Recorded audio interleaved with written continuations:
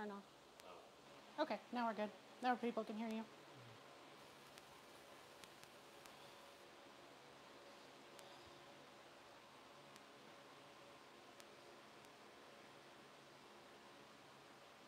Man, look at the whole chat. I don't know. All right. Hi, buddy. I know. All right, so first things first, more important than any bowling balls, this is Storm. Storm likes treats. Can you sit? Or you can do that too. That's a pretty cool trick. Good doggy. I know. Okay. You guys get some too. Mistle and Aspen, and he's so nice. He mm-hmm. lets them get their treats too. All right, you back up, buddy? Good doggy. And Aspen's turn, and Mistle's turn. And he's so nice. You mm. are, aren't you? All right, that's enough. they say no. I want more. Yeah.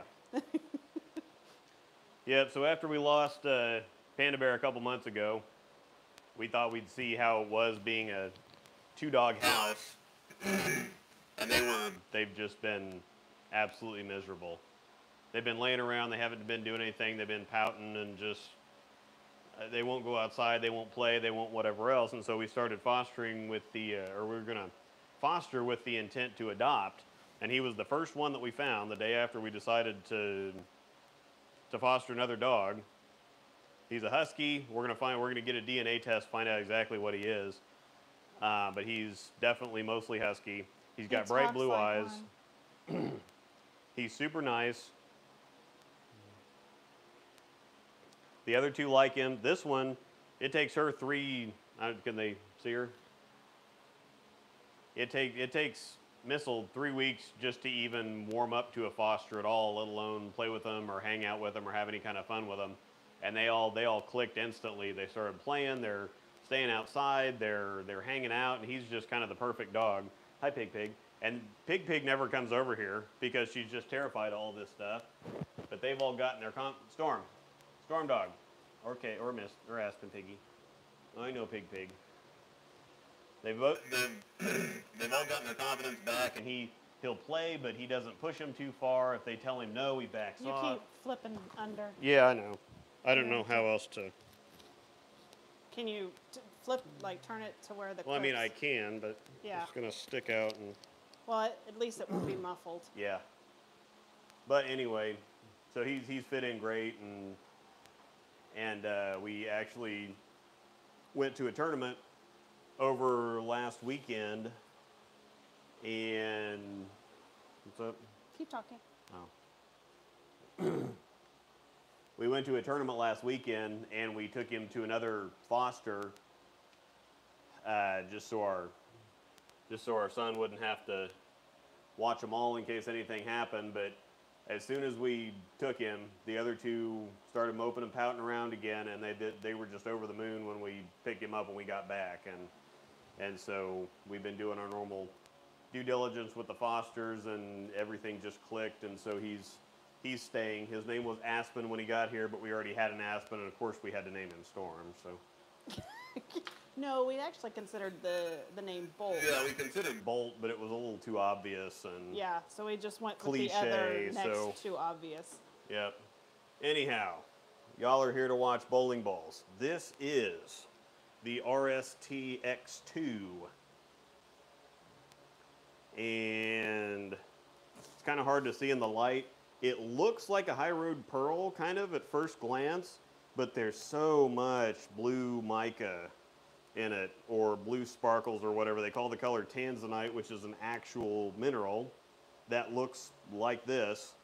And so it's just a ridiculously cool ball. Once you get it under some light, it looks a whole lot bluer than than purple. All right, so we're gonna get to layouts. Go ahead and bring that over Yep. here. Let me pull off the mag thing here. All right. Yep. This is uh, wearing one of the Cool Wick jerseys that that I got sent. I think this is the comic Yeah, I think so. the comic quick ship. So this one's going to be angels. This one's going to be mine. The CG thing doesn't really matter anymore, but uh, my layouts have been, my layout's going to be something like this. So it's just that, It's a little more friendly. yeah, the, the CG's in a little bit better position for her. I guess. when we have two to choose from, then Yeah, we have two to choose from. It's a it's a dumb thing, and if I got one of if if I got one of these and had to draw one of these, I wouldn't care. no. But just because we can pick, we did it this way. so this is the I showed this before. This is the Storm Arc Ruler. So this is basically for laying out uh, bowling balls with the VLS system. It's 20 bucks as opposed to normal compasses that are 150. And I think shipping's like ten dollars. Somebody said. I don't Oh, remember. Yeah, I don't know. So But now you can lay out stuff with a with a Prosect, and I use a combination of the Prosect and this. and you know when you're laying read out comments. what Read the comments. Mic keeps going robot bit crushed audio hiccups. Interesting.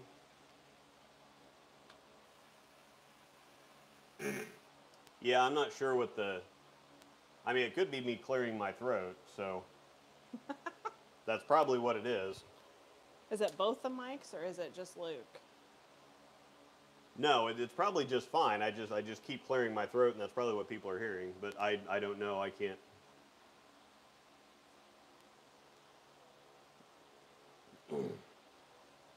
Funny enough, that triggered one. Interesting. Okay. Hopefully it's fine, but I don't know. Okay. Everything's plugged in right, so freaking technology.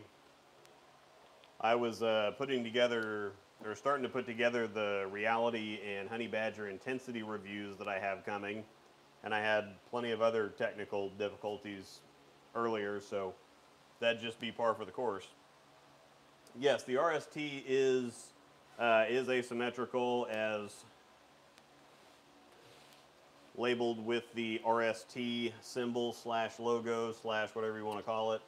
But back to the layout stuff, you can do VLS, you can do dual angle.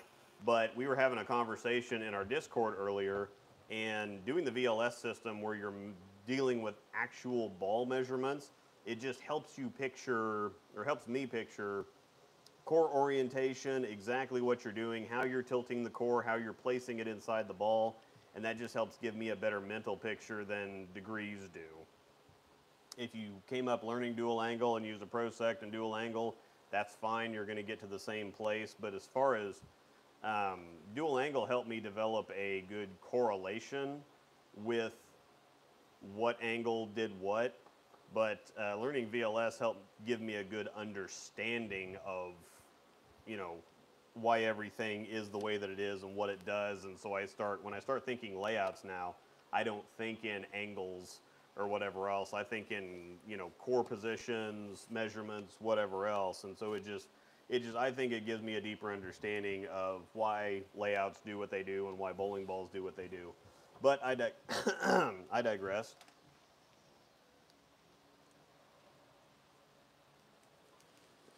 I'm drinking uh, Saugatuck Brewing Company Cottonmouth Crusher Raspberry Sour Ale. It's That's not a mouthful. yeah, it's not incredibly sour at all. It's more tart. It's more of a tart fruit fruit type of ale rather than a true sour. But it's still pretty tasty. I like raspberries. You like For the cover conspiracy theorists, I think this ball might be R3S Pearl. Well, we'll find out. Um, E-Trax is, I believe, basically. Um, oh crap! I lost it. Whatever, whatever the cover was the on the Storm Bite. Oh, that's an old one. It was yeah. ERG. That's what it was. I think. ERG anyway. So it's a little bit stronger than it's stronger and a little bit quicker I think for me than something like R2S Pearl. So it should be just kind of a buffed or kind of elevated version of the cover that's on the UC2. Um, if it was R3S, I'll be able to tell if it's R3S Pearl because R3S Pearl is really strong and it's really chuggy. So we'll we'll see pretty pretty quick what it actually is, or if it's just kind of an amped up version of uh, of E-Trax, kind of along the lines of when Storm has R2S versus R2X, for example. It just add a little bit of nano and kind of buff the strength up and, and whatever else. So anyhow, I'm going to start laying stuff out. I kind of cheat on Angels because she has the same layout and it's really, really easy to get to where I want to get to. So her pin always goes above the bridge. That's easy to get to. And the mass bias or PSA is always two and a half inches away from her grip center line. So to make it really easy, this is not the way that you do this, by the way, but this is the way that I do it because I cheat. So what I'm going to do here is I'm just going to take this. Uh, this is really, really easy to use. Now, it's not quite as precise as a normal compass because it only, you have a hole every quarter of an inch. But if you're, if you think that changing measurements more than a quarter of an inch, or I guess less than a quarter of an inch, actually matters, then you know going ahead and spend the extra $130 on a compass. So um, I'm just going to put this in the little PSA dot here. I'm going to go to two and a half inches. I'm going to make my little arc here. And then I'm going to use the Prosect to, you can't really see this. I'm going to use the Prosect to just split the split the pin there and then find the outside edge of the arc that I made, the far outside edge, right there, middle of the pin. I guess at least if you cheat on all my balls, then they'll be consistent. Yeah. and then I'm going to make the center line. So, that's totally not how you're supposed to do it, but like I said, she gets the same layout every single time. This just makes it simple. You can show the fancier way when you do yours. Yeah, I'm gonna I'm gonna actually do it the proper way on mine. So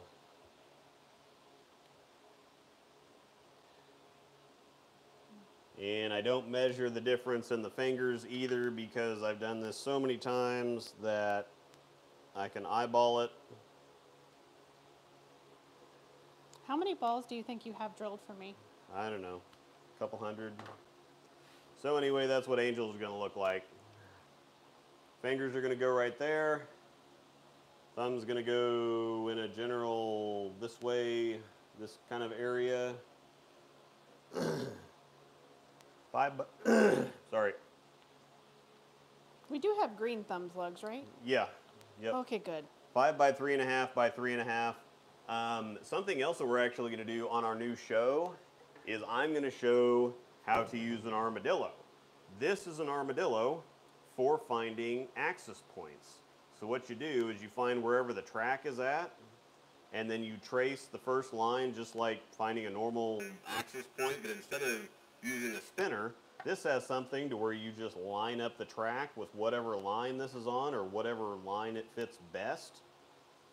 And then you make your little axis measurement over here and then just measure from the grip center over there to find your access point. So this is one of the things we're going to do on the, uh, the bit called the breakdown where we do technical stuff. We're going to show, we're going to talk about layouts, we're going to talk about surfaces, we're going to talk about positive access points, and we're going to use this, this fancy handy dandy armadillo.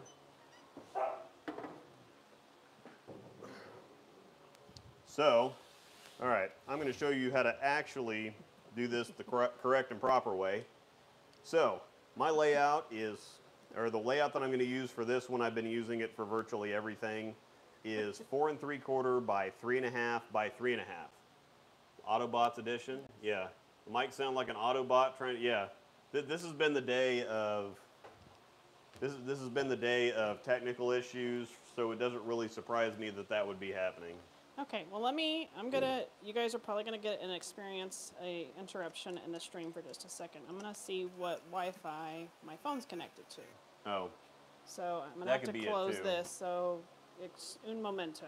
yeah. Hang. Okay, should be back. All right, I'm gonna reset a mic here.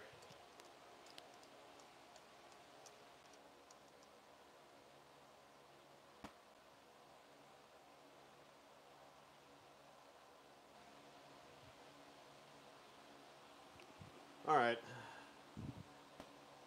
Mic off, mic back on. Yes, it does look very purple, and it's really hard to see on this, but once you get it in the light and it's like all sparkly, then it gets really, really blue. And I'm sure that you can't see that through the video, but it gets really, really blue when you've got any kind of a light on it. So it looks Hy-Road, it presents Hy-Road pearl, but when you look at it, it turns into a really, really deep sapphire.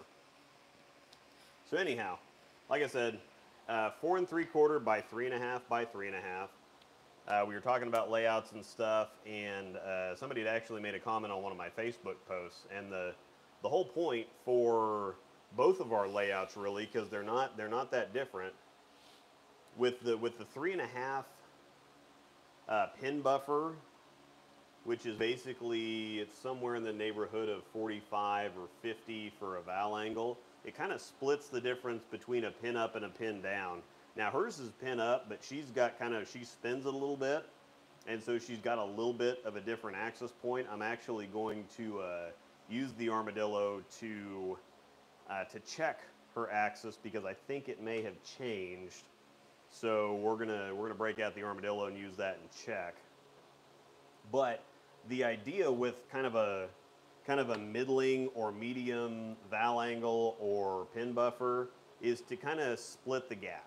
Normally, if you go pin up or you have a shorter val angle or a shorter pin buffer, the ball reaction is going to be quicker. It's going to be sharper. And the longer you have that, the slower it's going to be down lane. So most people either go pin up or pin down and they kind of jump from one, not necessarily extreme, but one side to the other. Well, going in the middle with something like a 45 or a 50 val angle or a three and a half inch pin buffer kind of splits the difference. It's not super quick, but it's not super slow either. Nice, so it's just nice and, you know, nice and easy. Took a storm. Now with the three and a half inch, uh, with the three and a half inch PSA to PAP or initial or drilling angle, going kind of medium on that too, again does the same thing. It's a fairly strong, it's a fairly strong uh, PSA position, so it gets it to wind up really hard about 30, 35 feet down the lane. So you get a little bit of scoot up front. We don't have super strong pins. Hers is five inches, mine's four and three quarter. So they kind of, we get a little bit of push or a little bit of scoot through the fronts. The ball winds up really, really hard at 30, 35 feet, and then it kind of eases its way in. So if you go back, you know, if you watch our reviews, even on the flippier stuff, you can see we both get really good push through the mids. It winds up hard and then kind of walks in and is nice and continuous. So that's kind of the idea. It gives us a, a good look at ball reaction. It's consistent, it's controllable, continuous, uh, whatever All else the, three fancy C's. Huh? Hashtag staffer. How many Yeah, yeah, I can know. you use? How many, how many, how many buzzwords can I use here? but anyway, it's just a nice, consistent, controllable layout. We're not trying to do anything specific. We're not trying to get the ball to hook a bunch. We're not trying to get the back end a bunch. Uh, whatever else, it's just kind of nice and right there in the middle. So anyhow, four and three quarter by three and a half by three and a half. So the first measurement is the pin to pap measurement. The second one is the PSA to PAP measurement. And the third one is the pin buffer. Now, most of the time, people will go, okay, well, I'm going to do the pin to PAP, and then I'm going to move it down here. I'm going to do the PSA to PAP, and then I will do the pin buffer. But because I know pretty well exactly where all this stuff is going to put me, um, I'm going to try to do this upside down. Uh, I'm just going to do both the pin to PAP and the pin buffer at the same time. So you put the little, there's a little pin down here. You put that on the center of the pin. Then I'm going to find the four and three quarter marker. And because I know that three and a half from the PSA to pap isn't very long. I'm going to put my arc down here. Now I'm going three and a half, so I'm going to find the three and a half mark. And because I have kind of a general idea of where that's going to end up, I'm going to go on ahead and make my pin buffer arc up here. And then I'm just going to move down to the PSA and make my, there's a little dot right in the center here. I don't know if you can see it, but the general overall PSA logo, there's always a mark, or there's always a dot. So I'm looking for the dot, and that's what I'm going to measure off of. Because with something with a bigger logo like this, if you don't know, uh, you don't really know what to measure from. And with something this big, I mean, if you measure from over here versus over here, I mean, that, that, the thing's an inch wide. So it's right in the middle. So I'm going to put that right in the middle. I'm going to find three and a half again, which is right there. Another little arc. And of course, like I said, I've done this a few times. So I know exactly where the arcs go. So once we get that done, so this is my pin to pap, this is my PSA to pap, and this is my pin buffer. So all I do, I find the intersection of these two marks, and then I make a line to the very outside edge of the pin buffer arc. So, so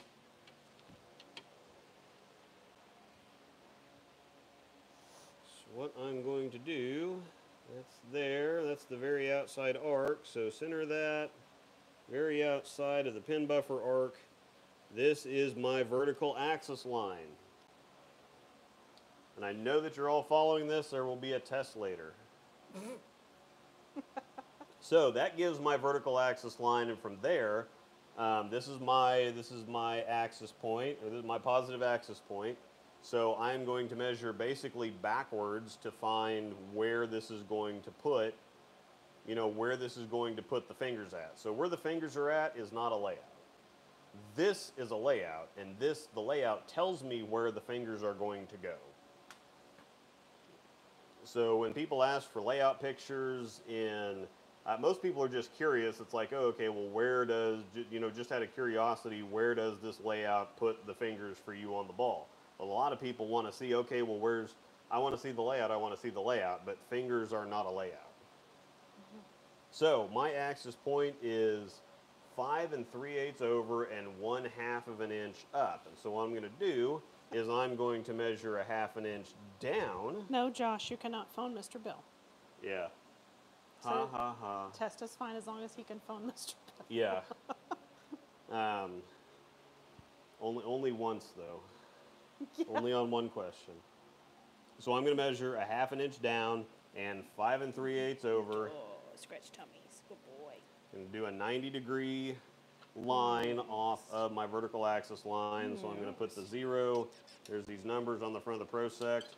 I'm going to put the zero. I'm going to line the spine of this thing up with my vertical axis line. I'm going to put zero on my positive on where I've identified the positive axis point. I'm going to measure down a half of an inch. I'm going to make a mark. Then I'm going to go 90 degrees.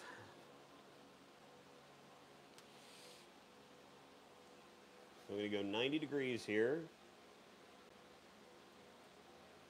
There's a little dot so that this spine doesn't exactly line up with zero. There's a little circle right here where the zero mark is. So it's actually this, uh, sorry, this edge of the spine right here is zero basically. So I'm to line all that up. That's lined up with zero. I'm to make my mark over this away. And I need to measure this now, so I'll try to flip this up and show you the numbers. So now I've made my mark. That's on zero. I'm going to come five and three eighths of an inch over here, make my mark. So five and three eighths is right there.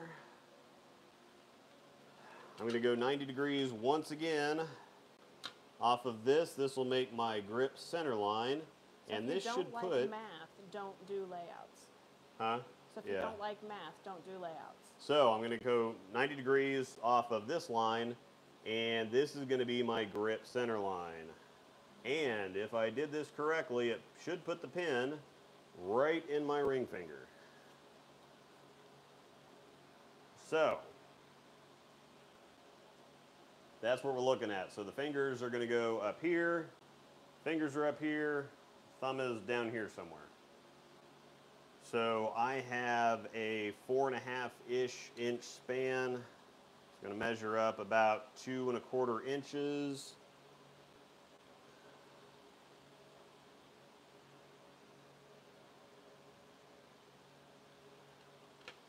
That's a good thing you can at least cheat on one of our stuff. Yep.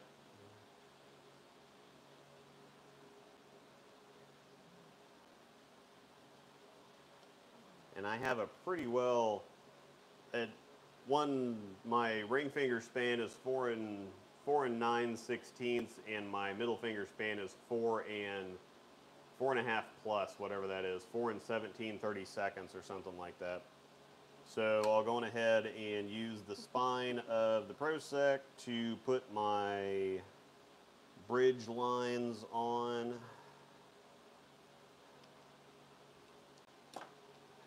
And there we have it. Snazzy. So you can see the, the PSA is all the way down here. But I did it correctly, so the drill bit is going to go right there. So I'm going to drill the pin straight out. You didn't start doing that until just recently, right? Yeah, actually, the Idol Synergy. I talked to Rob and Dan quite a bit about my Idol Synergy layout, and Dan liked drilling the, the pin out, and so that kind of solved the pin up versus pin down thing for me because the pin up stuff was a little too much too early and a little too much. You did that with a motion. few of your righty balls, but not very many. Yeah, not very many. I did like it, but um, I really liked both pin up and pin down stuff, uh, depending on what I was kind of going for. But left-handed, uh, the pin down stuff is a little too long and slow, and the pin up stuff wants to start up too quick and do too much. And the pin and the ring finger has just been the dynamite nails layout for me on virtually everything. So since I tweaked my layout just a little bit, and like I said, the the pin buffer was a big part of that, going from five inch pin to pat pin up, and two and a half uh, two and a half pin buffer. I've gone to three and a half pin buffer, and four and three quarters. So the going up on the pin buffer a little bit allowed me to go with a slightly stronger pin, make it a little bit more continuous, get me a little bit further down the lane, make it a little bit more continuous. Um, Oh, yeah. Stafford hype buzzwords and nonsense. So anyway, so that's the way too long and way too in-depth version of doing that. So I'm going to go ahead and drill Angel's Ball first, and then I will drill mine. So we're going to take you back over to the drill press here. Questions? Yeah, probably had a check. Put the magnet back E-Trax seems to be a decent amount stronger than R2S to my eye. Yeah, it's, uh, R2S is really clean. E-Trax is also pretty clean, but I think it's sharper, and I think it, it's it's definitely a bit stronger. But it kind of fits because I again I think it's it's based off of Storm's ERG, which is a very similar formula as far as ball reaction goes, but it's stronger. So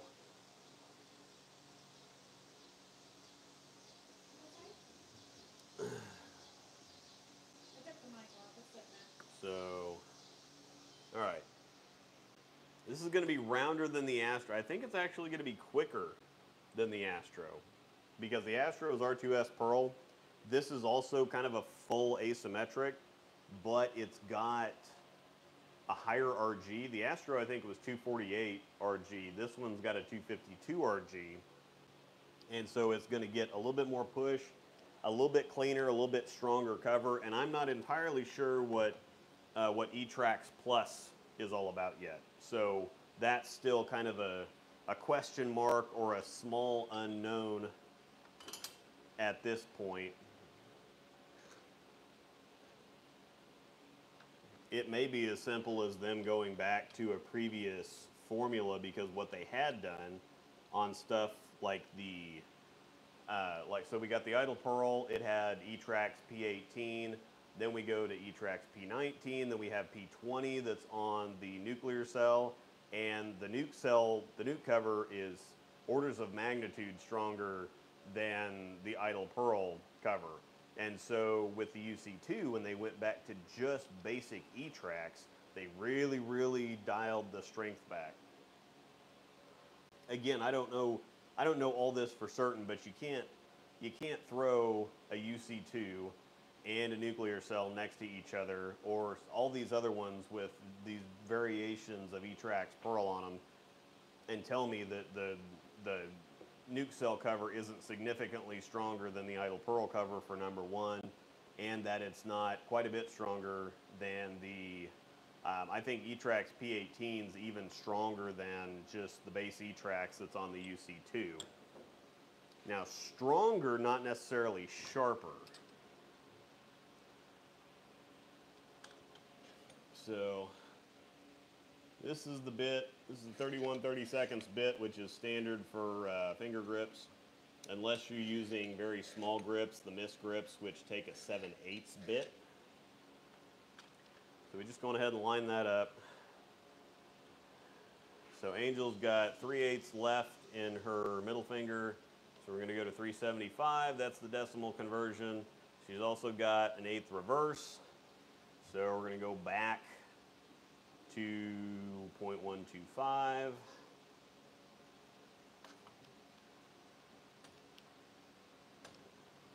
Since you're gonna go a bit on this, I'll just go read this. Yeah.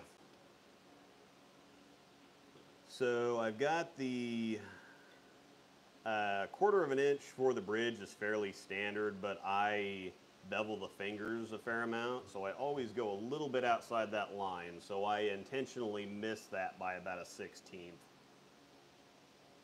And then this, the bottom edge down here, I want to put right on the line.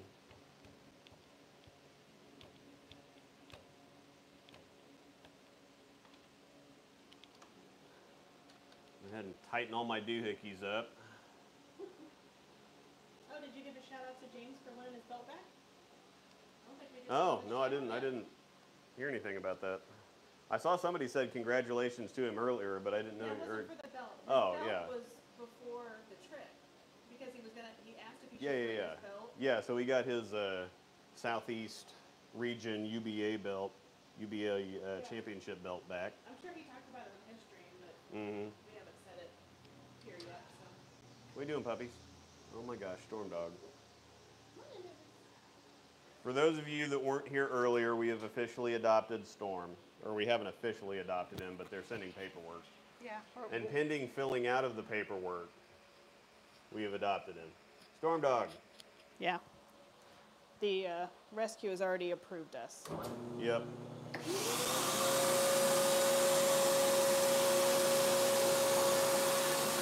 Which I guess if they're gonna let us foster the dog, then they'll probably let us keep the dogs.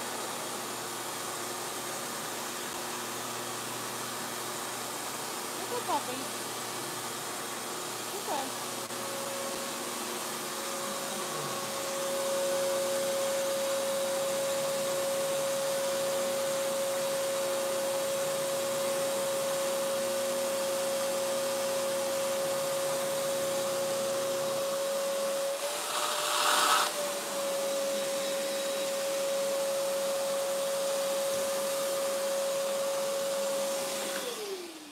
I got a preset depth I drill the holes to. Normally I drill them about two inches. Just really enough to get the grip in there and give me a little space at the bottom of the hole. I'm not trying to do anything too science rocketish. So we're gonna go the opposite direction. She's got 3 eighths right in her ring finger and still the same eighth of an inch reverse in her in her ring finger. Her span is uh, this full span, not cut to cut. The full span is 3 and 15 sixteenths by 4 and 1 32nd.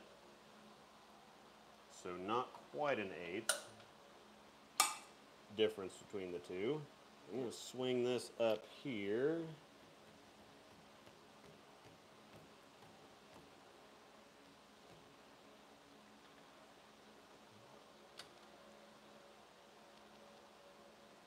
Just have to be careful on the ball speeds on the monitor. Sometimes they don't read correctly. Oh yeah. Now the ball speeds on the monitor read at the pins. I'm pretty sure. I think 90% of them do.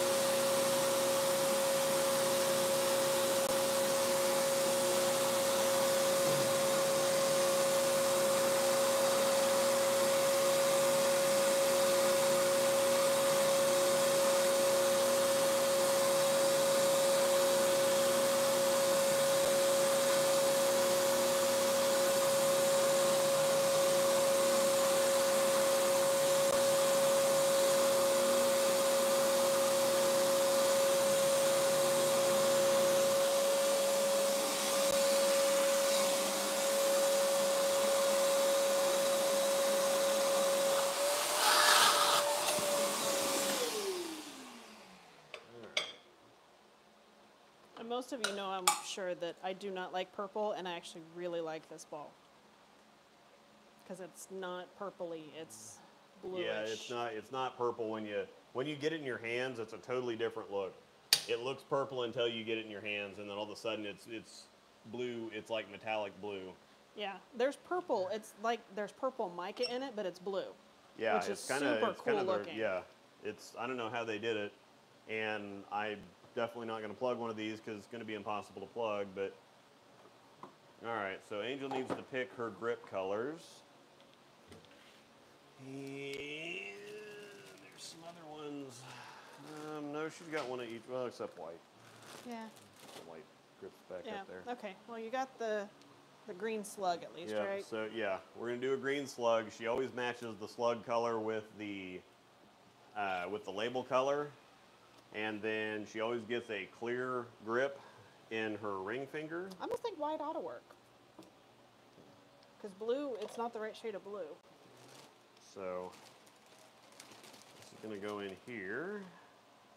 So yeah, I think we're gonna go white. All right, she wants to go white on the other finger grip.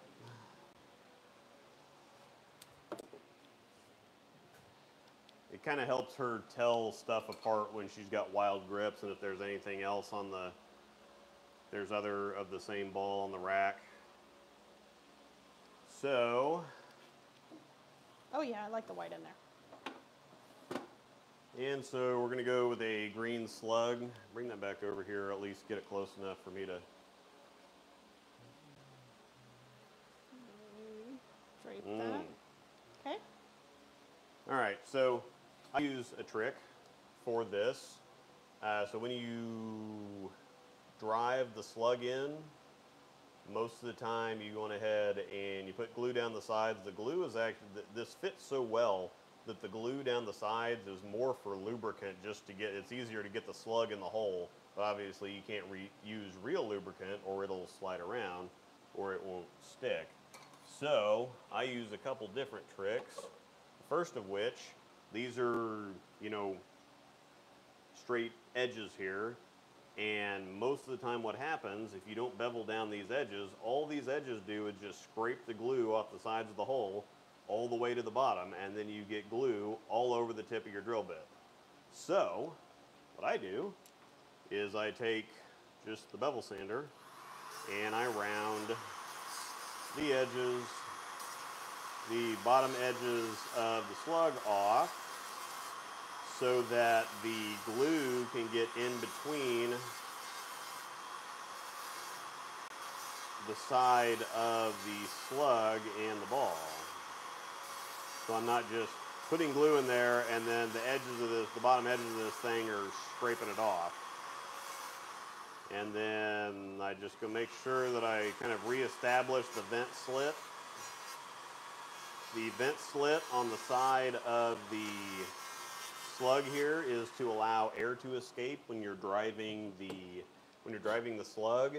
And also when you're drilling a slug you always want to drill through the bottom of the slug because that will also vent your thumb hole later so that you don't get a vacuum type effect. Some there is such a thing as it fitting too well. And so you always want to punch through the bottom of the slug with the drill bit when you're drilling the slug so, I got my slug prepped.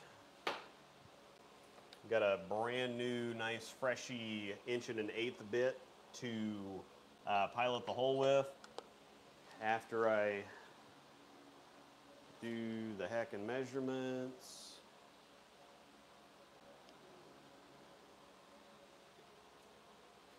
So, my span ruler, I'm gonna measure three and 15 sixteenths. We are getting Zen And then that should be four and a thirty-second. Make my mark here. That ring grip is just a little high, but I have tricks for that too. Tricks for everything. It's three and fifteen sixteenths. And that's, that's a 64th long, ladies and gentlemen. I missed by a 64th, but I can fix it. So first what I'm going to do is I'm going to put her thumb bit size in here. Needs to be Vegas Lou or something. Yeah.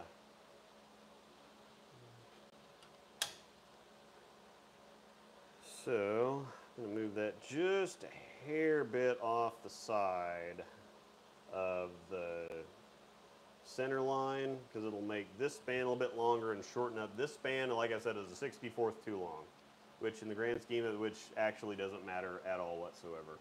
But if I shift the thumb just a tiny bit, then I can get them both to line back up. So I'm moving it, I'm moving the bit a 64th off of the center line. And then I'm going to go on ahead and start the pilot hole so that I can measure first. I'm not just going to make my line and punch the hole. I measure several times to make sure that everything's gravy. So Because you already said you don't want to plug it again. Because I will make you plug it again.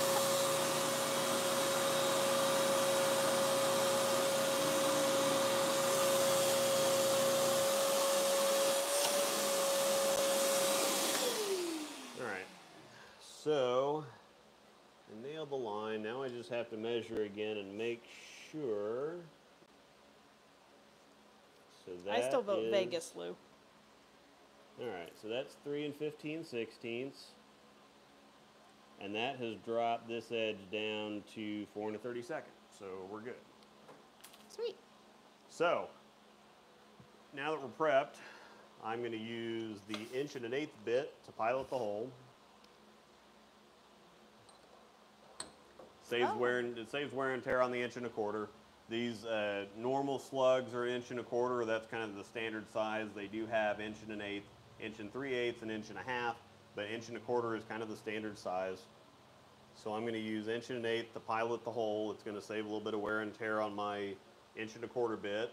So and also that helps it get a little bit truer, truer cut. So the we hole don't isn't have that many tight. gems, Lou. What are you talking Yeah. about?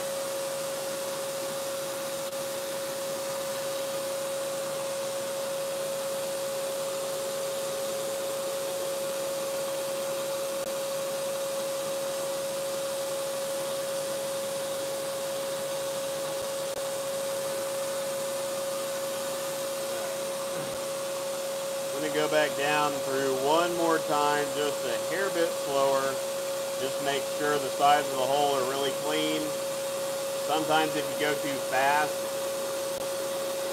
you can actually not get that clean of a cut. And that will add unnecessary friction to slug installation. And that doesn't need to be any more interesting than it already is. Looking forward to seeing you again in Vegas, Lou, next year.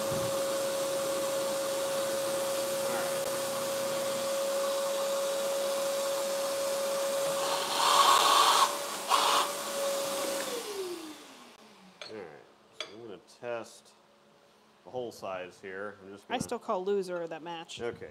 If that if that goes in that far that easy, it should just should slip right in. It should be pretty easy to so take our glue bottle.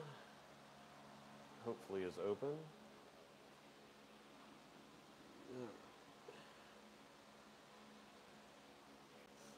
Like I said, the fit on this is the fit on the slug is normally tight enough to where you don't actually need the glue to hold the slug in place. You need the glue more for lubricant to get the slug to slide in easier.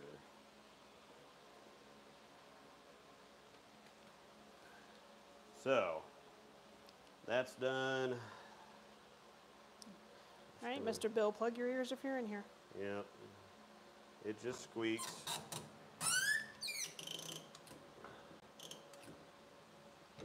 Look how perfect that is. I'm going to barely have to shave this thing down either. There's no reason to leave, uh, you know, leave so much over top of it to cut off. All I'm trying to do is just cut off the top. So the people that leave like a half inch or three quarter of an inch of slug above the hole, I don't understand that. More to This is about as close as you want to get it because any closer and you're just going to trim the edges off and it's still going to be a little flat on top, but this one's going to be perfect. So Angel's Angel's thumb hole is 25 30 seconds at an 060 oval angle. Uh, it's 45 degree oval angle as well. That's pretty standard or typical.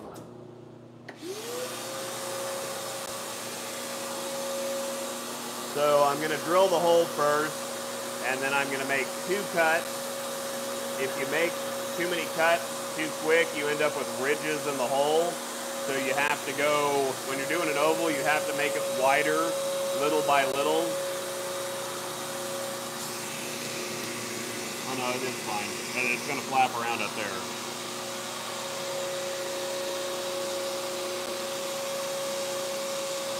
So you have to kind of go little by little when you're doing an oval just so you don't get ridges in the thumb hole.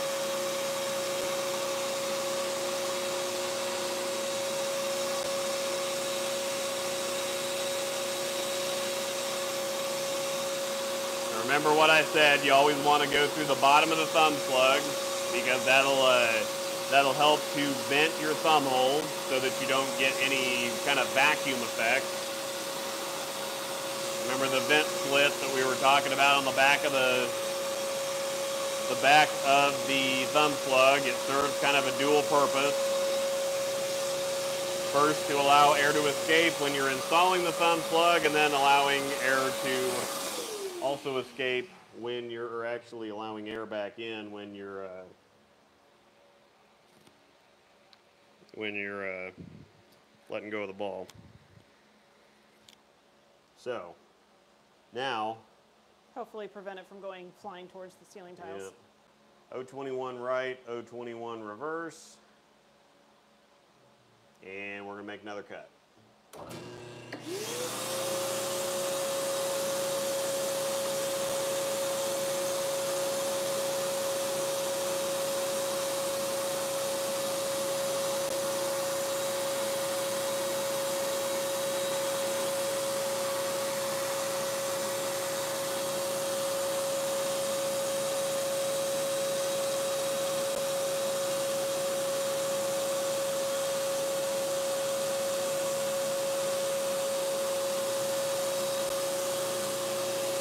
Same deal, one more cut.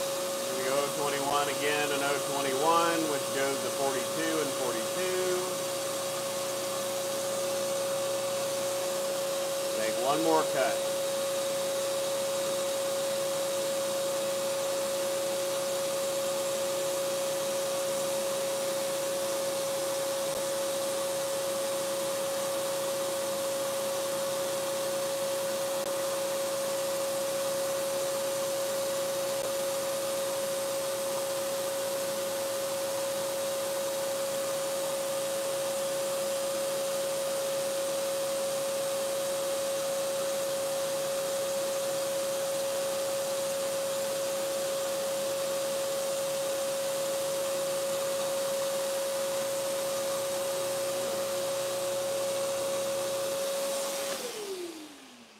Cuts are made. Now it's time to trim the top of the slug off. So, very important thing that every pro shop operator will at some point in their career forget reset the pitches to zero. Otherwise, the router bit will cut the living crap out of the ball. Every pro shop operator on the planet's been in a hurry and has put the one bit back, grabbed the router bit, and started to pull the hammer down, and then all of a sudden gouged the crap out of the ball. So, lock everything back down. Um, she started at zero. That's her thumb pitch is just zero any direction. So it's a whole lot easier to do that. You don't have to rearrange. You don't have to readjust and make sure that you center the. You always want to center the the slug underneath the hosel here, or the center of the center of the bit. Just makes driving it a little bit easier. It makes the you know cutting it Uh, a little bit more uniform and consistent. So.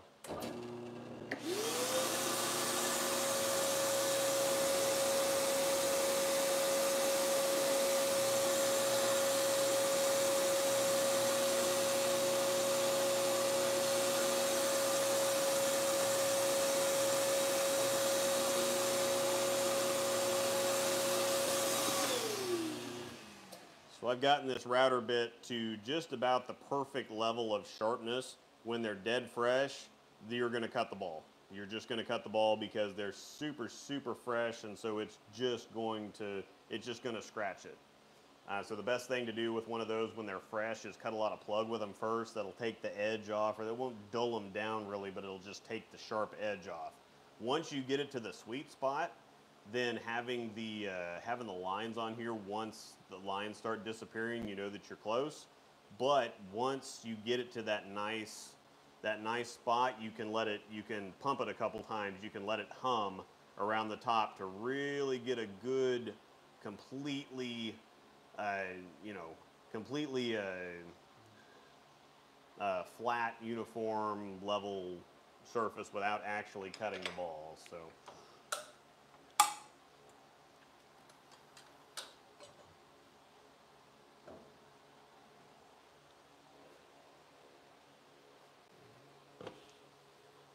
All right, so we're gonna put that off to the side for a moment. We're going ahead and drill mine, and I'm just gonna just gonna go right through it.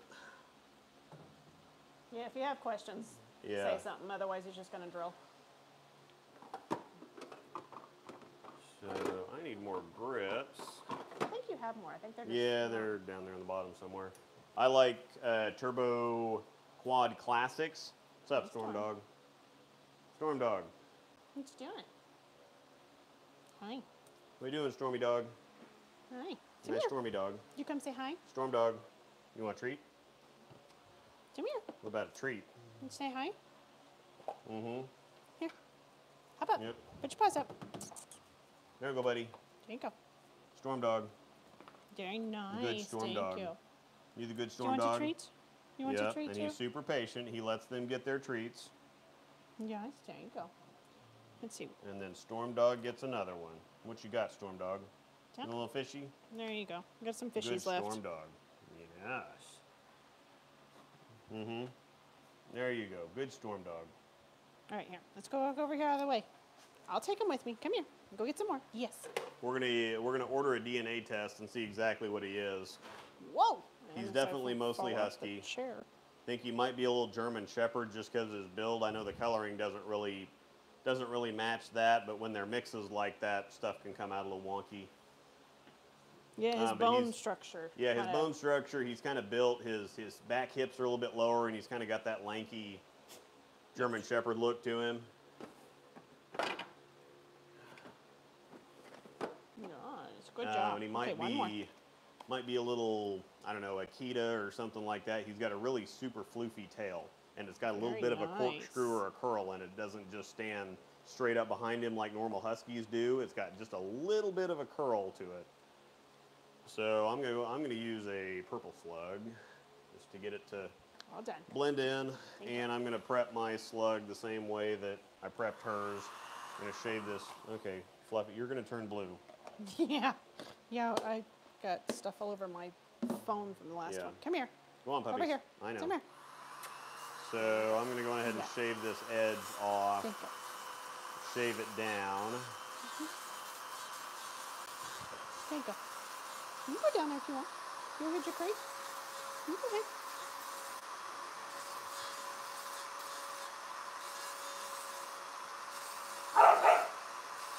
I know, They're both wagging tails. I know. They're just playing. Yeah, they're actually pretty aggressively playing with each other. Like they're really getting into it. They're not mad and they're not. They kind of challenge each other and they kind of bark at each. That was that little bark bark down there was them kind of That was Mistle. saying, "Yeah, let's." Oh, there's uh, him. Yep. They're kind of egging each other on. All right.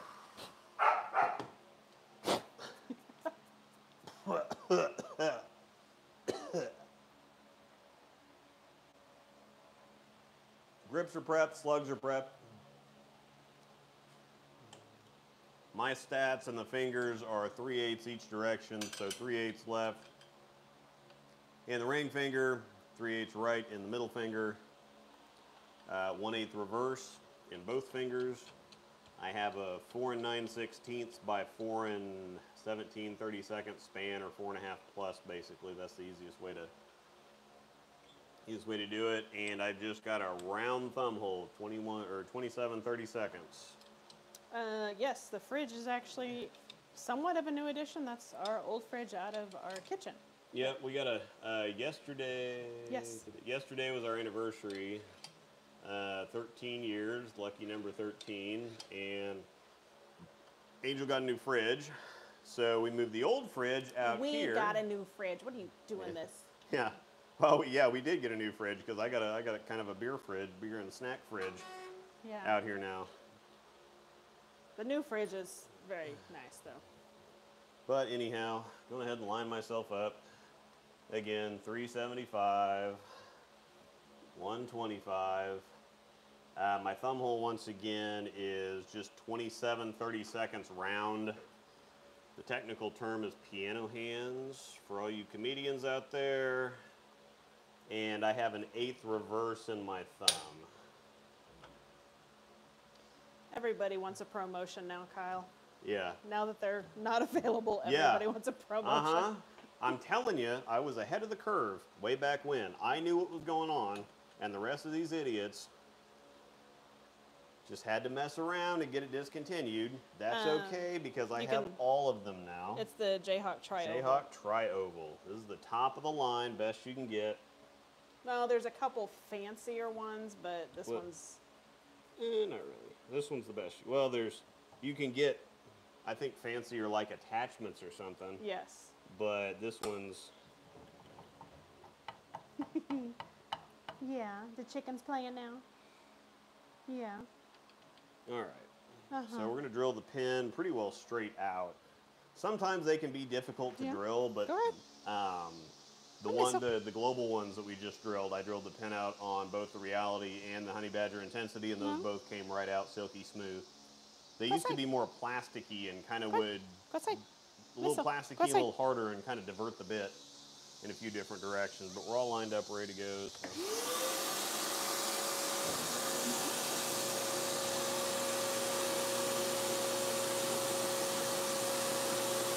Yep, that's drilling right out just fine. Sometimes you can see the bit bounce around or jump around if the pin is shoving it one way or the other.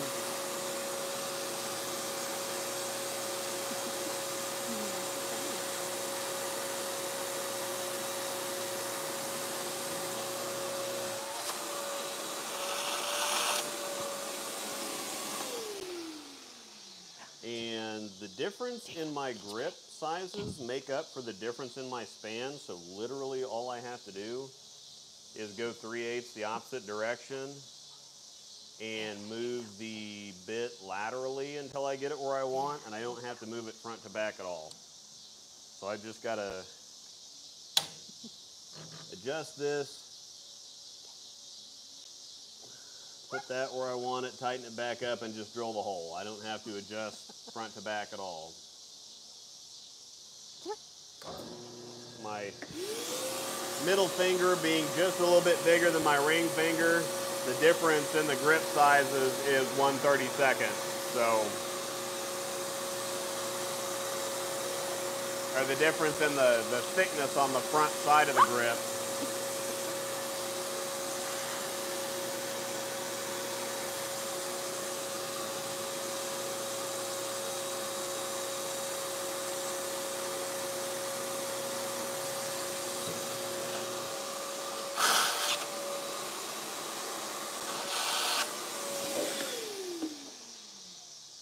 So, like we were saying earlier, uh, I'm working on Honey Badger intensity and reality videos, reviews, and then we have ZenMask. These showed up today.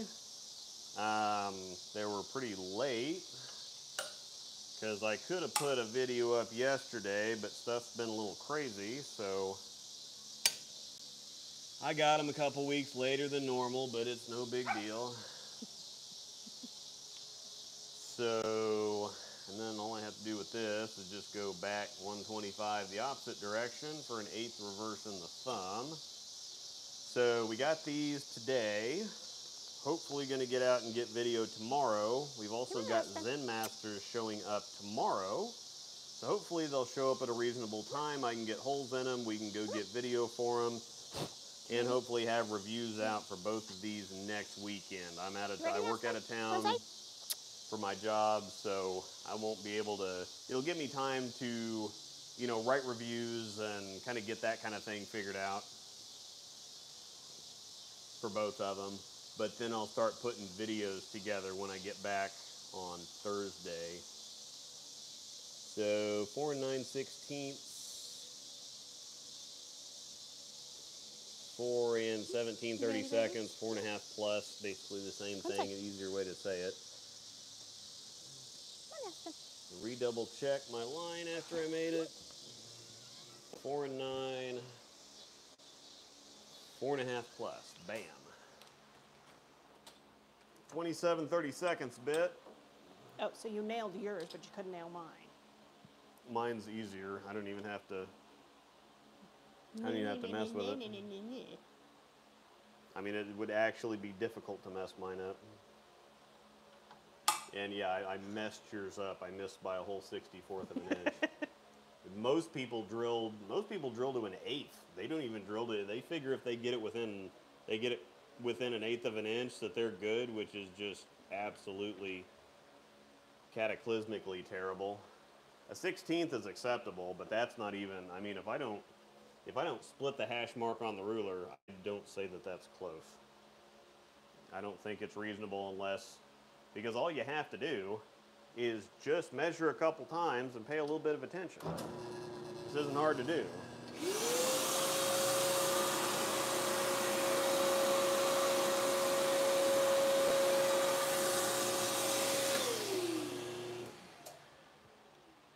Go ahead. go Having perfect vision helps too, but all right. So that's I know you can't see it because I'm in the way. While I'm in the way, check out this nice jersey from uh, CoolWick.com. Use promo code Rosdahl10 to get 10% off your order. So, that's pretty good. So once again, I'm going to use the inch and an eighth bit to pilot the thumb hole.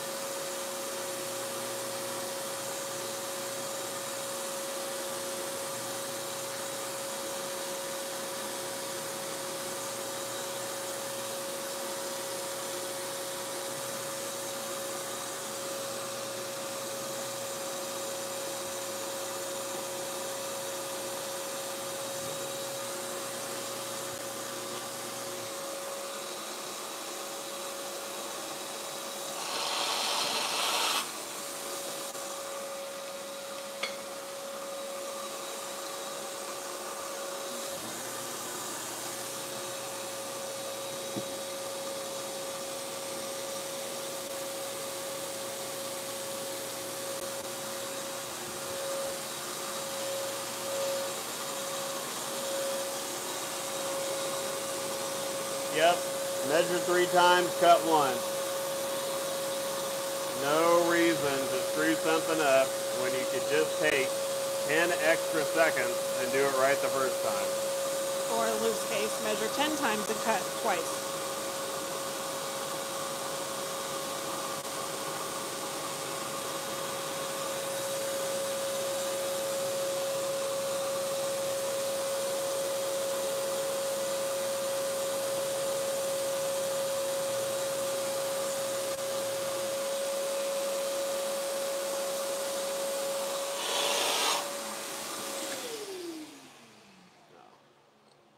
Hang on. One more time.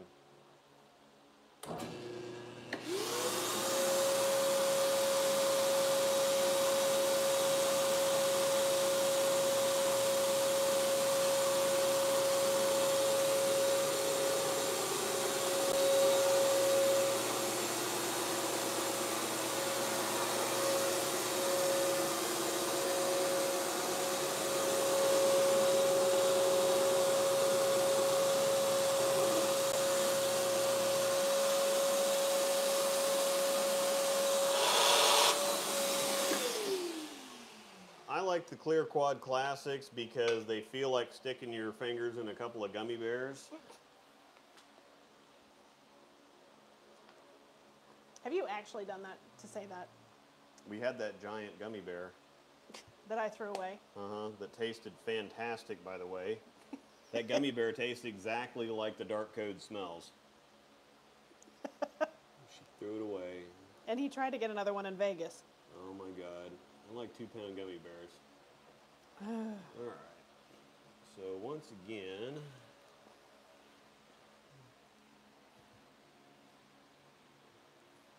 The glue is more for lubrication of the thumb hole than it is to actually hold the slug in there. But it does help. It does help. But Otherwise, he'd just use water. again, this should just slide right in there. Yes, the dark code does smell fantastic.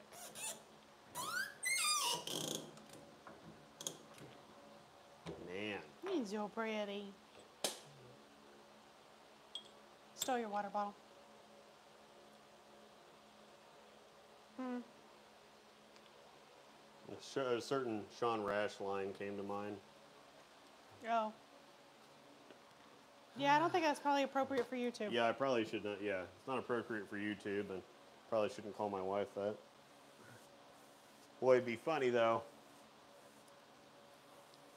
All right, it's a little warm out here. I am the one holding the said water bottle, and and I I sweat like a pig.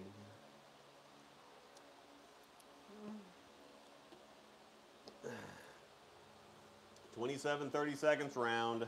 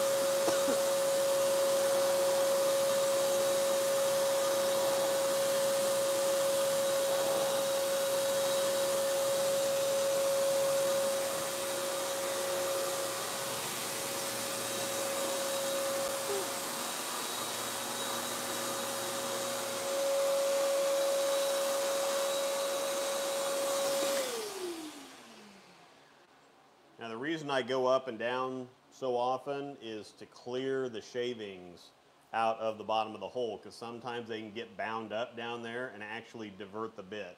So, to get the truest, cleanest thumb cut possible, I, I drill, I don't know, eighth of an inch, three sixteenths of an inch, back it off, clear the shavings, drill another little bit, clear the shavings, back and forth until I get get the thumb hole done. So once again, resetting pitch is very important.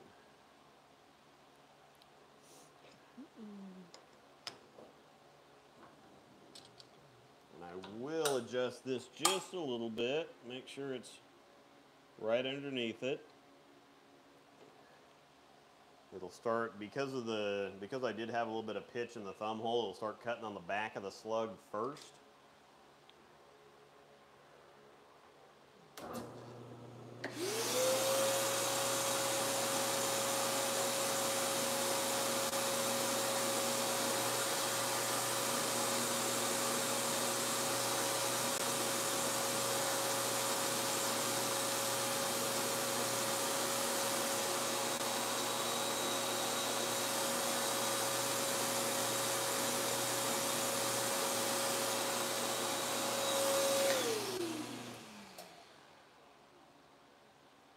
Yep, this sucker is right at the sweet spot.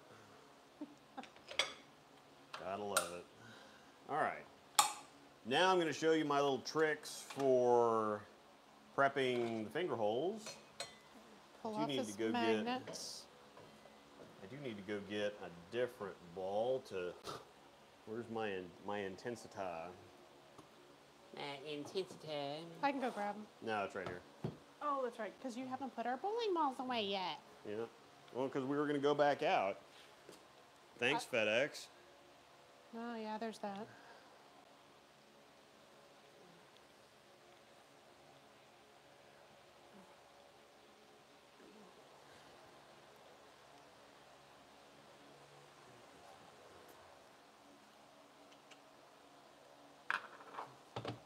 Honey Badger Intensita. Hi, buddy.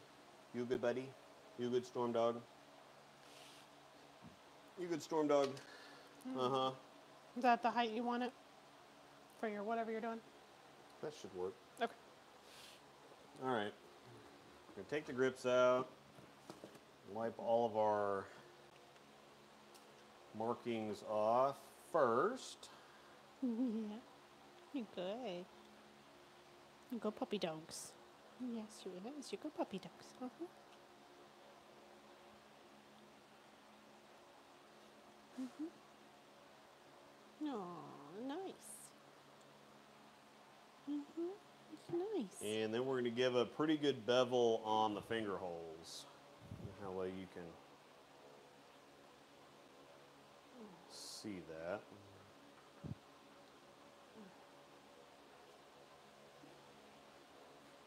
Do it this way. We'll give you we'll give you the true like straight up right on top of it perspective.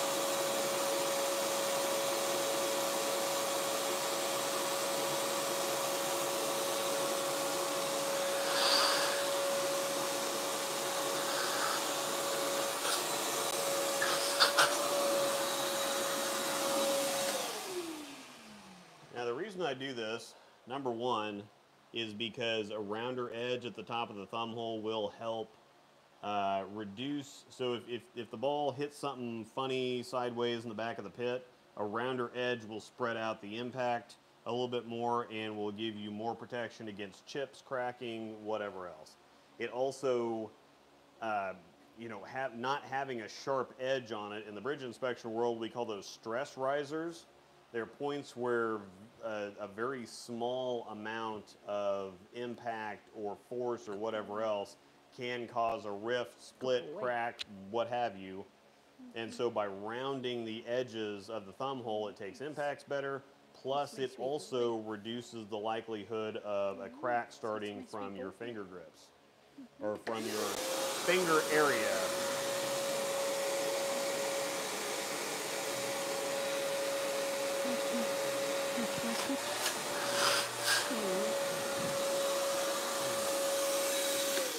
Plus, I do kind of a hybrid vacuum grip. So what happens here, where did I put my finger grips? There. So what happens here is that by beveling out the very tops of the holes, if you look at your finger, you know, the, uh, yeah, okay, that won't be good for YouTube.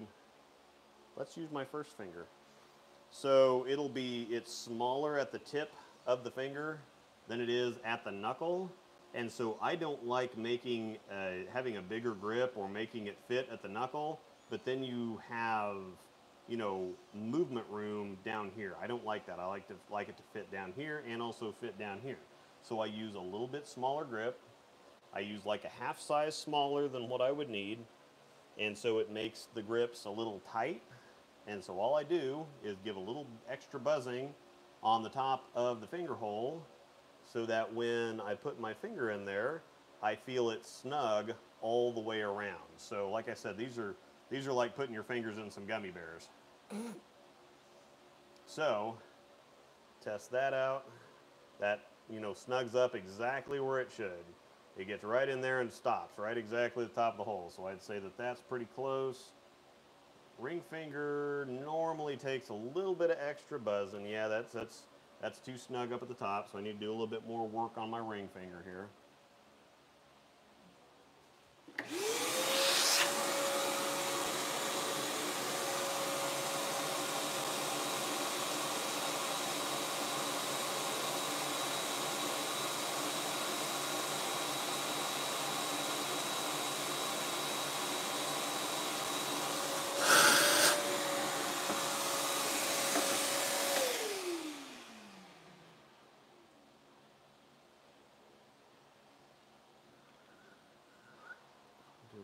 The very top.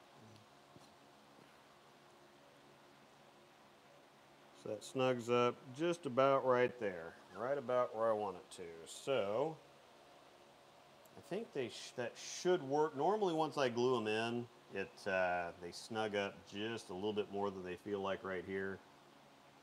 Uh, the pin is in the middle finger, middle. Ring finger, Sorry, ring finger. middle finger for a righty. Yes. That kind of snugs up. Again, that kind of snugs up right where I want it to. I'm going to do just a little bit more at the top of that because, like I said, normally I, they feel fine, then I get them glued in and they're a little snug. So.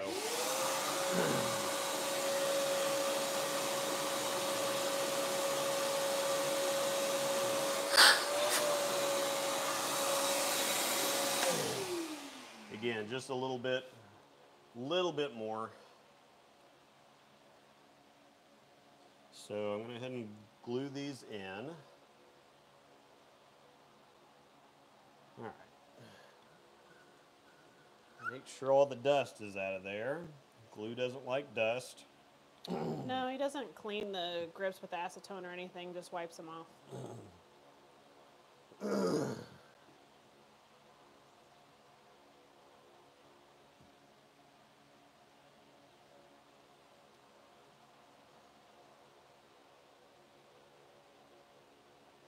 All right. So I always like to glue, the inset first. That's or glue the bridge side first. That way you can get it the right height, basically. I always go down underneath the cover stock.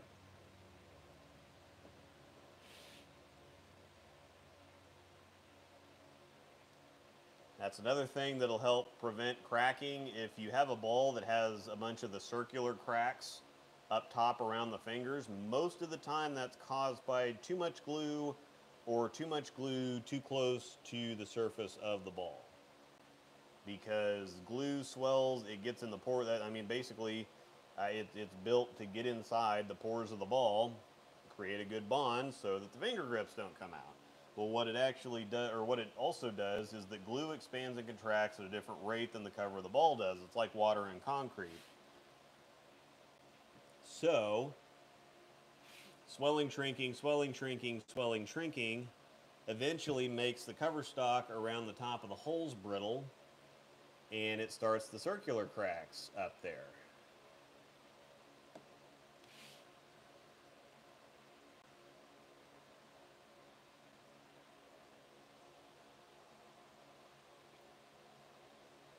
So, this, my kind of techniques here do several different things at the same time. It's not just kind of, oh, this is the way I want to do it, and so this is the way I do it. There's actually, there's actually quite a bit of thought that goes into it. And when I see these posts all over the place, oh, my ball crack, my ball crack, my ball crack, whatever else, I mean, you guys know how many balls we drill, how many balls we go through, and I don't have, I think the only cracked balls we have down there are like 20 years old that have been sitting on a shelf out for whatever. But if you actually drill them the correct way, store them the correct way, we don't. We have ex- exactly zero balls that are cracked down there that have been drilled the correct way and stored the correct way. Hmm. Most of the time, if we have stuff You that's still just have like the what is it? Hot wire? yeah, the hot wire that hasn't cracked, Yeah. That that's it's been sitting on a shelf for you know the last six seven years. yeah, and it's been plugged and re-drilled also. So because it was his go. and he plugged it and re-drilled it for me. Go back down here on the other side, once again underneath the cover stock, or kind of right at that line. Once you, uh, once you put some glue in there and then, you know, get it sealed like this, it's going to creep up a little bit. And the other thing is too, it doesn't take much glue. All I'm doing is gluing the bridge side and then the opposite side with just a couple little drops because it really doesn't take much glue to lock it down. The more glue you put in there, the more chance there is for, see that's nice and, it's nice and flat. So the more glue you put in there, the more chance there is to make stuff crack around the top, and the more cracking there's around the top, the more possibility there is for a stress riser to pop up.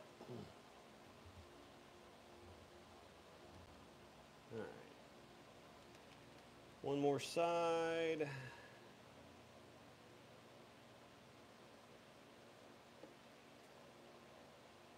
And then by leaving the front and back, you've added shims before.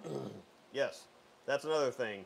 Is when you glue the sides, that's the easiest way to get the, the get the grips flat on top to begin with. But you can also add little shims in the front of the back if your fingers swell or shrink or whatever else. So if they shrink and you need to tighten them up, I usually take an it collar or the top of a, you know, the top ring that goes around the slug on an it interchangeable system, and I cut that up because they're already kind of rounded and contoured for this. But with this technique, I don't need the shims anymore because the grips kind of flex with my fingers. so, we have a mostly finished product. I'll go ahead and finish off the thumb, but it really doesn't take a whole lot. There's just a little bit of bevel at the top, and then I'll kind of explain the fingers to you again.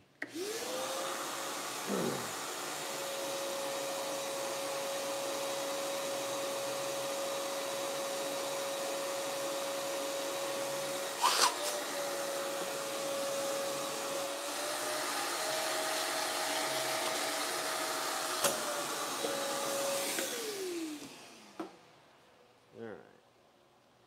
So, bam. Gives me a little bit of dig. Fits like a glove. So, once again here, up top on the fingers, they're nice. they're nice and rounded off so that we give the edge of this more impact absorption, spreads out, you're rounding it off, smoothing it off, spreads out impacts a little bit, it's not a hard edge. And if you have a hard edge too, it makes it constricts at the top of your grips. Um, I also only glue on the sides, but I also glue down further. So, you know, I've got plenty of flex, plenty of flexibility around the top of the grip, but it's not coming out because there's glue down further inside there. But again, you know, you don't need you don't need a whole lot of you know I can I can pick this if I was strong enough I could pick this up with something that I just glued a minute ago because you don't need that much glue in these in these finger holes. Provided So- you don't have crappy glue. Yeah, provided you don't have crappy glue. I use Turbo Slow Zip. This is the best stuff because it gives you it gives you a couple seconds to get the grip set where you want it at. It doesn't lock up right away like Loctite or super glue or something else. So I like it quite a bit. Obviously, it holds nice and firm. So I could pick the ball up with the grip, just having a drop of glue on one side, drop of glue on the other side. Once again, this also gives me flex at the top of the grip for my knuckle. So hmm. I get my fingers in and I got a little bit of a dig going. Talk about the proper way to store the balls. So, And when traveling also. yep, I can do that. So I get that nice dig that I like. They're they're snug up at the knuckle, but you know instead of getting here and getting stuck or whatever, I can kind of work my finger in. It snugs right up, feels great. I don't have a whole lot of wiggle room at the tip of my fingers, and then just enough, just enough bevel on that on that thumb hole. You don't want a whole lot of bevel on the thumb hole because If somebody wants too much bevel, would it be probably make a pitch adjustment? Yes, if somebody bevel and pitch adjustments usually chase themselves because what you want to do is you want to keep your thumb as straight up and down in the hole as possible. Once you start adding too much bevel, then your thumb starts walking all it gives way too much flex to your thumb and that lets your, you know, that lets your hand cheat up this way or cheat back this way or whatever else. But if you have just kind of a straight up and down thumb, it keeps your finger, it keeps your thumb straight up and down in the thumb hole. You don't have a whole lot of wandering, and then just right out. So you want it to come, you know, right straight out of the thumb hole. You don't want it rolling over the front side of that thumb hole. That's where a lot of friction is created from. So you want your thumb straight up and down in the hole and be able to just come straight out of it. So the proper way to store bowling ball is back in the bag that it came in in the original box it came in because what you're doing there is you're locking it up and you're preventing moisture loss out of the cover, which is a big thing. so that and uh, ideally put it somewhere where there's not a whole lot of temperature fluctuation. So if you have a, a basement, that that's a great place to put them. Yeah, something temperature controlled. Yeah, temperature controlled, but you don't want them sitting out. And this may or may not be scientifically correct, but I also like to put them finger holes down because just the natural effects of gravity. If you have the finger holes sitting up, the ball is pulling, everything's wanting to pull this way. You know, gravity is wanting to pull the entire thing down, and because it's resting on a very small point at the bottom, it makes these want to pull apart. And so that will in theory, make the fingers want to pull away from each other. But if you store the ball upside down, then it's, you know, there, there's nothing up here to, there's no hole, rift, a cut, crack, whatever else for this to pull on. Oh, this But is, when you store it with the holes up, there is a hole in the ball or something that, Yeah. you know, some kind of rift or fissure or whatever else for it to pull apart. So, and it sounds so weird, but I mean, once you put the holes in the ball, it's meant to be thrown, and so actually the best thing for the ball is to throw it repeatedly yeah. at so stupid white sticks. and again, and again, because, uh, because if you, it just gravity. If you leave something sitting in one place for so long, the gravity is pulling on the same location indefinitely. Which is why a lot of people will say, "Well, I went and rotated my balls, and then I found something cracked." Well, if you are storing them properly and doing everything else, then it Yeah. maybe it goes back to you know the different things that you were talking about earlier, as far as the glue and the Yeah. the bevel and the whatever else that they're. And maybe it's just a little bit of this and a little bit of that. So when you add it all together, now you've got a bigger problem. Yeah, but at the, and at the same time, that's a lot of the reason for really beveling out around the top of the holes. So you just reduce any kind of stress points for the ball to start cracking along. Takes impacts better, resists stress better, and it gives you more flexibility at the top of the hole to fit your knuckle a little bit better. So if my fingers swell up a little bit, I'm still going to get. It might be a, I might have to jam them in a little bit more, but I will still be able to get them in because the finger grips are squishy and flexible, and I've got some extra flex up at the top here. So the, the grips will snug up on my fingers just the way that they are. But if I do need that extra little bit of jam room, if my fingers, if my fingers do swell up a little bit, I do have, I have the room and I have the flex to go on ahead and do that. Hmm. so that is my RST X2. I'm going to go on ahead and finish off the wife's ball the same way. Her grips fit a little bit truer not necessarily better, they fit a little bit truer than mine do. So I really just round off the top of hers. I don't actually do a whole lot of extra beveling or uh, material removal. I'm just going ahead and wipe them down. She also likes a really, really sharp, not a really sharp, but she likes a pretty sharp thumb. So got to be pretty careful on that, but I've got that. Uh, I've got that figured out pretty well too. Hmm.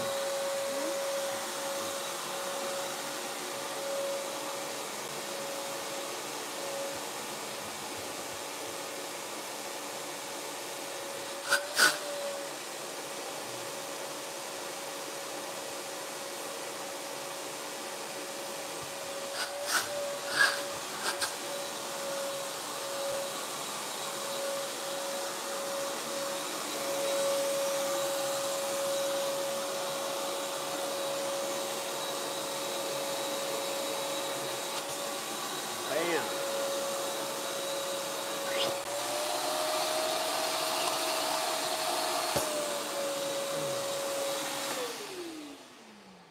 So I got the fingers, tops of the fingers nice and beveled up, and all I do is hit the top of her thumb once with a somewhat worn in pad. So all I do is just kind of pop it, Yeah. and it'll should be ready to go here. yeah. Zero in the thumb and basically no bevel. That grip's going in a little tough, so it might be just a little tight, but I doubt it.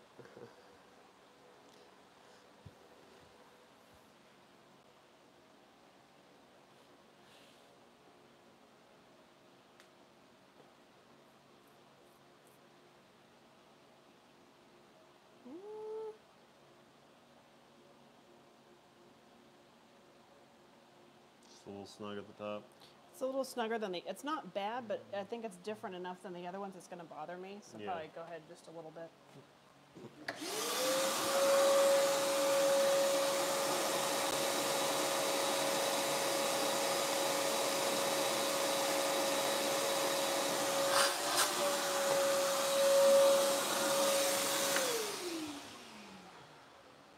As soon as I switch from that one to something else or vice versa, it'll really stand out.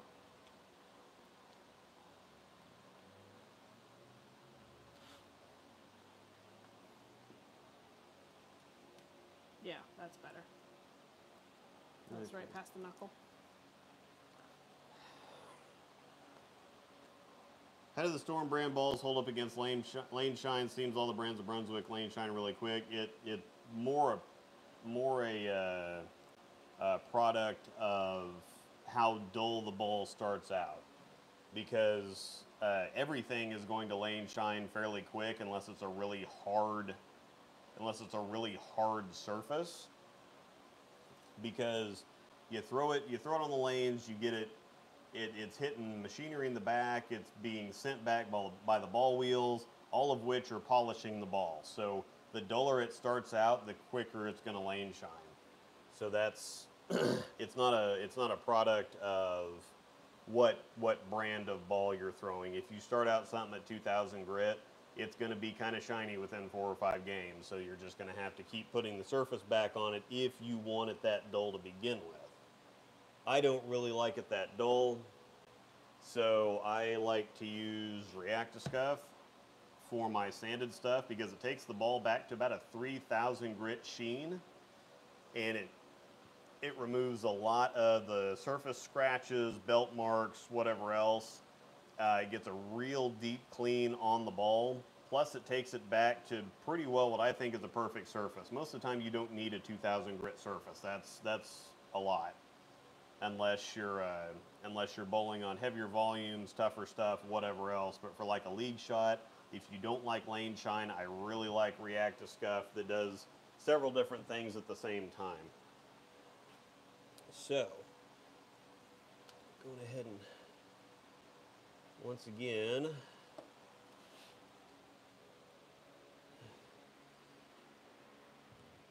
so slow zip gives me a couple seconds to get the grip set where I wanted, where I want it.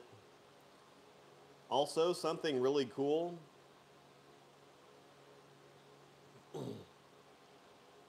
Yeah, the, the green thumb slug hurts your eyes, but it matches with the labels.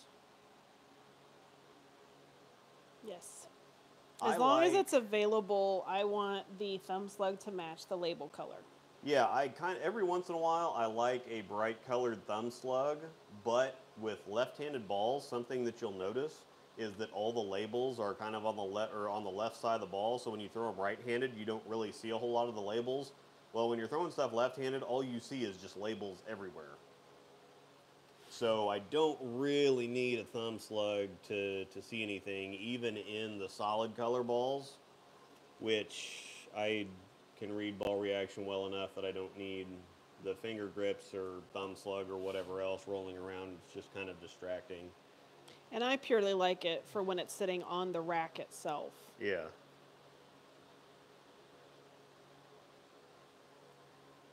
Because then when four people have RSTX2s on the rack, I know which one's mine. So yeah, if you like if you like 500 to 1500 grit surfaces, you're just going to have to add surface pretty well every single league night. Uh, they've done several tests. If you go, if you look up, uh, Jayhawk Bowling Supply has a surface scanner, and they've done a couple videos on it showing that uh, how quickly the surface disappears on a ball just because you throw it time after time after time, and the you know the lane polishes it a little bit. It hitting stuff in the back flattens it out a little bit. Coming back on the return tracks and the return wheels and all that stuff uh, shines the ball up pretty quickly. So once again, we're putting Yeah, glue I don't think people really, when they think about the ball going down the lane, they think about the oil, but they don't think about all Yeah. of the leftover oil that's in the pits and then the ball track coming back up plus the ball return. Yeah, the It's ball just- return, the, the wheels and the track and all that stuff. It's not that it's necessarily totally forgotten, it's just not in the mathematics of. Yeah, you just don't think about it. Something else for those of you that glue in your own grips, you see on the top of this glue bottle, this is a flexi tip. So most of the time the glue bottles will glue themselves shut before you're, you know, several times before you're done with the bottle. And so you'll have to keep clipping the top off and clipping the top off or poking a um, poking a pin down in there, but that also tends to push little pieces of hardened glue back down in there, which causes a problem. So the flexi tips are basically bottle tip extensions. So you cut the top of the glue bottle off. You put one of these things on the top of the neck, and then you can just gradually clip these down as they get uh, as they glue themselves shut, so that you can leave the glue bottle kind of the same length. Uh, as you cut down on the glue bottle, it makes the opening larger and larger and larger, and so it makes it harder to control the amount of glue that comes out. Mm-hmm. So these little, they're called flexi tips for anybody interested. And they also make it a whole lot easier to get down the side of the grip, especially these smaller grips that aren't very flexible. You end up using the entire glue bottle as opposed to it Yeah. All hardening before you can use it. Or at least most of the glue bottle. So, once again, you have bevel at the top, nice and It's so pretty. glue them in right, The green labels do help. nice and flush. So what purple it does actually have in it, the green labels help. I'm I'm okay with this. Yeah. I don't know how well you can. I'm going to put this up here, see if I can get the camera to pick up on the nonsense. But if you can see that, as soon as you're in the light and have it up close to you, it reads very purple from kind of a distance. But as soon as you get right up on the ball, all of a sudden, all you see is blue, right where your the focal points are at. So you get it in the light, and it's got this really nice, deep blue metallic look to it. So this is just, it's just one of the coolest balls I've ever seen, and that's what somebody was saying is like think, think uh, a high road pearl with more shimmer. Um, you might have to turn the sound up on your end. I've got, I'm not quite chewing on the microphone, but I'm pretty close. So,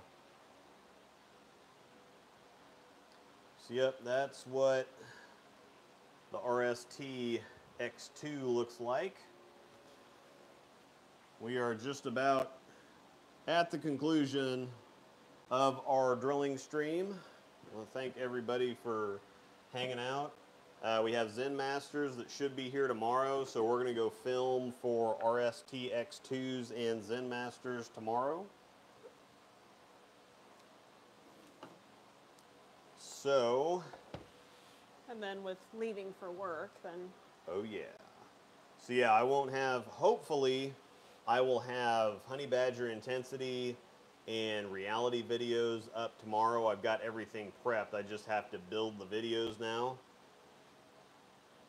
So we should have Honey Badger intensity and reality videos tomorrow, but we are getting in Zen Masters and do need to get those drilled and then head over and get at least the, the RSTX2s and the Zen Masters films so I can start writing reviews so that I can be ready to build stuff when I get back home at the end of the week on Thursday.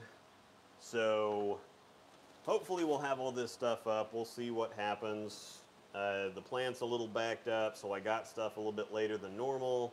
And then FedEx always sucks, so should have had these on Thursday and Friday. Got them instead on Saturday and Sunday. So um, it is what it is. But I'm sure it's because everybody's ordering, but when you expect Oh, yeah. a delivery and, and, that, that's says, the, that's the thing. That I think I don't. I'm not sure that they. I, I think their their estimates are a little aggressive. yeah, the actual FedEx delivery people have always been fantastic. It's Yeah, the they're- uh, Yeah, our, our delivery driver, she's freaking awesome. We've had Love probably her, but it's just tricky. Actually, we've had like three or four because usually it's not the girl when we have the Chewy order deliver. Uh-huh. But yeah, all the FedEx de- de- delivery people have been fantastic. But Yeah. whoever is running the uh, delivery expected date is no, they're wrong. so, Storm Dog. He's passed out on the futon. I'm not sure you're gonna Oh. get him. Storm Dog. I want the Storm Dog to come sign off. Oh, Storm Dog, come there here, buddy. comes. Come here, sweeties. Come here. Oh, you're gonna get all three of Come them. Come here, Storm Dog. Hi, buddy. This is our new adoptee. And Mistle Dog, You want to get the treats out again? making a get 'em all. friendship. All right. You want to treat Aspen Pig? Come here, Pig Pig. All right. Tallest doggo gets a treat first. And you're so nice, aren't you? Yes, you are. And then you're so nice, so you let the other doggies get their treats. Yeah, he just watches. Like, Uh-huh. is it mine? He doesn't try mine? to steal the treats from the other doggies, and then he gets his little bit. So this is our newest. That's for Mistle. Aspen Pig Dog. I know you're a little chompy. And then Storm Dog. Good Storm Dog. All right. So, all right. Thanks everybody for watching. Come here, Storm. Come here, buddy. Hi, buddy. And we don't have to worry about his claws snagging this wonderful Coolwick jersey, so he can jump up on me all he wants. Yep. And he loves to. Yep. Yep. He loves doing this. So this is the comic quick ship from coolwick.com and if you use the promo code Rosdahl10 like it's spelled on my channel if you need to check it out for reference it's kind of a tricky spelling. Rosdahl10 on coolwick.com gets you 10% off. Hi buddy. And this is the newest member of our family. This is storm dog. Storm dog you turn around and show him your pretty eyes. Uh-huh. You say bye-bye. yeah. you say bye-bye. Good storm dog. Thanks There everybody go. for watching. We got plenty of stuff coming.